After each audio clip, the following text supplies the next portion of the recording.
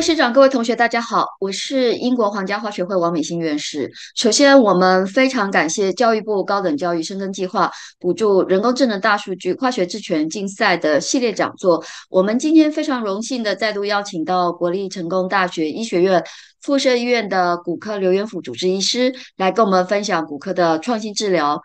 刘元甫医师从成大医学系毕业之后呢，在成大医院接受非常完整的骨科专科医师训练，然后就继续留在成大医院服务。大部分的时间是在成大医院台南总院，但是他还是每周二特地拨冗到成大医院斗六分院来服务我们云林的乡亲。柳元甫医师目前也是成大医学工程研究所博士候选人。那他还曾经到日本德岛大学病院骨科部研修。德岛大学是日本除了东京大学以外唯一有过诺贝尔奖得主的知名大学，也就是对世界节能减碳、环境永续有巨大贡献的 LED 之父中村修二的母校。柳元甫医师的临床专长包括了脊椎疾患阶段照护，包括了下背痛。肩颈疼痛、椎间盘突出、坐骨神经痛治疗、脊椎介入性治疗，例如影像导引下的神经阻断术、神经再生疗法，还有各类的脊椎手术，包括颈椎减压融合手术、颈椎人工椎间盘置换手术，还有微创脊椎减压融合手术、微创脊椎内视镜手术、骨科创伤治疗，还有退化性关节炎的阶段照护、骨质疏松检测跟治疗。那么，他的专业医学会包括了中华民国骨科医学会、台湾脊椎外科医学会、脊椎微创内视镜医学会、台湾骨科创伤医学会以及台湾骨质疏松症学会。另外，他也通过了国际骨质疏松 ISCD 的认证。呃，我们知道，其实刘医师专攻这个。微创的脊椎减压融合手术，还有脊椎微创的内视镜手术。那微创手术其实是现在非常时兴的这个新技术。然后听说伤口比较小，出血量比较少，复原比较快。请您帮我们做个介绍，什么是微创脊椎减压融合手术？什么又是脊椎微创内视性手术？那哪些情况适合做传统手术？那哪些病人、哪些状况又适合做这些比较新创的这个呃微创手术或微创内视镜手术呢？好，那首先要讲到这个脊椎手术的话，我们要先了解脊椎手术的一个原理原则，以及我们做这些手术的目的是什么。因为其实通常病人会需要做到手术，表示他的其实是一个。脊椎神经的压迫，我们才会去做到这个脊椎减压的手术。那这个减压手术的话，其实基本上我们就是会把增生的骨头、肥厚的黄韧带去做移除。那基本上要达到这个目的，因为脊椎是比较深的，所以我们都要传统的话就要破坏掉很多、剥掉很多肌肉，才可以到达脊椎的骨头内。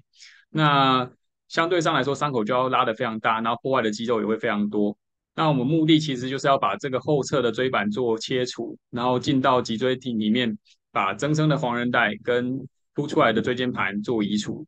那随着科技的进步，有一些器械的研发，我们现在进展到一开始先进展到这个显微手术。显微手术就是用过透过一个套管穿过我们的肌肉，可以达到深层的地方，就不需要剥掉那么多肌肉。就可以进到很深的地方。那在透过这个镜头辅助的状况下，可以看到把里面的视野放大，那我们就可以清楚看到里面的神经跟里面的脊椎的结构。那一样都透过比较加长型的器械去达到我们的脊椎的骨刺磨除跟夹除椎间盘这个目的。那这个传统手术又慢慢的进展到现在，又更。进一步的脊椎微创内视镜，那内视镜的好处跟这个显微手术的差别，差别是在内视镜是在水下操作的，这个传统的显微手术并不会加水，那我们脊椎微创内视镜会在那个内视镜里面加入水压，那水压的状况下，你可以看到这个整个视野就会变得非常的清楚，因为就不会有一直出血的状况，那可以让整个整体的手术视野干净，那因为水压的状况也可以止血，所以会让出血量变得比较少。这是脊椎微创内视镜手术的一个进展，大家可以明显看到传统手术的伤口，呃，跟微创手术的差别。可以看到，除了伤口的大小之外，还有肌肉的破坏程度不同，所以病人术后疼痛会比较少，然后复原会比较快。那脊椎微创内视镜手管径又更小，所以基本上能达到更小伤口，然后处理到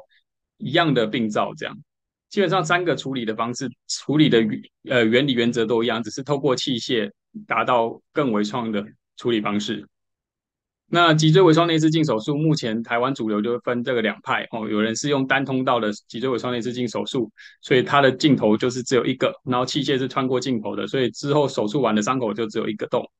那也有医师喜欢用双通道的，那双通道一样，只是主要它的镜头跟操作器械是分两个不同的路径，所以手术完的伤口会有两个洞。那基本上两者达到的效果是一样，都是一个微创的减压手术。那可以看到，我们这个做完手术之后，可以在视野下很清楚的看到我们神经被我们松解开来的样子。那整个伤口都基本上一个洞都不会大于一公分，所以即便是双通道或单通道，大概一个一公分或是两个一公分的伤口这样。那至于刚刚提到融合手术，呃，基本上什么状况下我们需要做融合呢？就是当你的腰椎有出现滑脱或不稳定的状态的时候，我们才会需要做到融合手术。怎么定义不稳定？就是我们会请病人做一个弯腰照跟挺腰照的 X 光。如果当他弯腰的时候，看发现他的椎体有往前滑脱，跟挺腰相比有大于错位大于四 mm，那就表示他有一个不稳定的脊椎滑脱的状态。或者是他弯腰跟挺腰照，他的椎间盘的角度超过大于十五度的变化，那表示定义它是一个脊椎不稳定。那这个不稳定的状态下，我们就会建议要做一个脊椎融合手术，去让脊椎稳定，避免它继续的滑脱，或是造成它不稳定造成的神经压迫的症状。那这样的病人，我们就会做一个脊椎融合手术。那脊椎融合手术，顾名思义，就是我们希望它的上下脊椎融合在一起，所以我们会透过这个椎弓螺钉去做固定。此外，我们会把它椎间盘做切除，然后在椎间盘的空间内植入这个椎笼。那这椎笼就是负责提供它。骨头跟骨头之间的稳定度，那可以促进它骨头跟骨头之间的愈合。那我们会植入它的自体骨或是一体骨，去帮助它骨头的愈合。所以会在钉子旁边摆上骨头，或是在椎间盘中间摆上骨头，让它上下骨头融合在一起，达到一个椎间融合的效果。那脊椎微创内视镜也可以做到这个椎间融合。所以我们可以看到同样的步骤，但是我们可以透过几个小的伤口，这几个小洞就是我们打椎弓螺钉的小洞。那在放入这个椎笼的位置，也是可以透过微创的方式放入椎笼。那这样也是可以一样达到椎间融合，但是是微创的方式达到椎间融合的效果。这就是脊椎微创内视镜的一个椎间融合的手术。那总结一下脊椎微创内视镜的优点，它的优点就是组织破坏少，所以相对上我们破坏脊椎的结构比较少，比不会造成术后的脊椎不稳定，也避免之后的呃融合手术需要的发生。那再来就是它的破坏少的状况下，它的出血量也会比较少，病人术后输血需要输血的几率就会降低。那再来就是术后的疼痛也会比较少，所以病人可以恢复比较快，比较快出院，比较快回到正常的工作上面。但它缺点呢，就是它的手术费用比较高，因为目前还是都没有健保给给付的状态。目前我们在争取这一块进入健保给付，但现阶段来说都还是自费手术。那再来就是因为毕竟他是以管窥天，他在小的视野下面操作这个手术，所以手术医师的技术及经验就非常的重要。目前都还是建议由比较有经验操作的医师去施行，可以避免并发症的发生，也可以让它 long term 的效果会比较好。这目前是对这个脊椎内视镜手术的介绍。